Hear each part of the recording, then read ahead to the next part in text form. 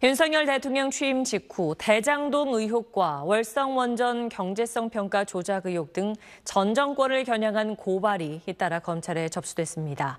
두 사건은 이미 검찰이 수사를 진행 중인데 수사가 확대될지 관심입니다. 홍영재 기자의 보도입니다.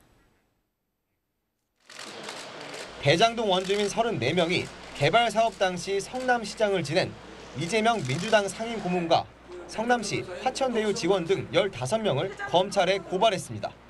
2015년 수의계약으로 화천대유의 5개 빌지 15만 제곱미터를 매각해 수익을 몰아주고 민간합동 시행사인 성남의뜰엔 3천억 원 상당의 손해를 입혔단 배임 혐의를 주장했습니다.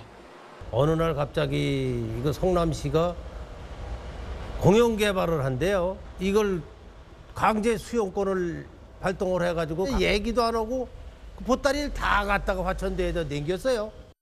원주민들은 새 정부 출범으로 객관적 수사를 기대할 수 있게 됐다며 뒤늦게 고발에 나선 이유를 설명했습니다. 어제 대전에선 시민단체들이 월성원전 조기 폐쇄와 관련해 문재인 전 대통령을 고발했습니다. 현직 대통령은 형사상 소출을 받지 않는다는 불소추 특권 종료에 맞춰 고발장을 제출했습니다. 두 사건 모두 9월 검찰 수사권 축소 시행 이후에도 검찰이 계속 맡게 됩니다. 고요 제가 특정한 사건을 전제로 해서 말씀드리는 건 적절하지 않아 보입니다. 없는 죄를 만들어서 뒤집어 씌우는 게 안 안 되는 것만큼이나 있는 죄를 덮어주는 것도 안 된다고 생각합니다. 대장동 사건과 월성원전 사건 모두 일부 관련자를 먼저 재판에 넘긴 뒤 윗선 등 남은 수사를 이어가는 상황.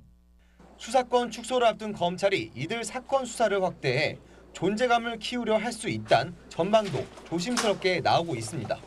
SBS 홍영재입니다. 네, 안녕하십니까. 김현우입니다. 더 많은 뉴스와 라이브 이벤트를 보고 싶으시면 화면 오른쪽을 눌러서 구독해 보시길 바라겠습니다. 또 저희 SBS 앱을 다운로드 하시면 속보 알림도 받아 보실 수 있습니다. 항상 저희 SBS 뉴스를 시청해 주셔서 대단히 고맙습니다.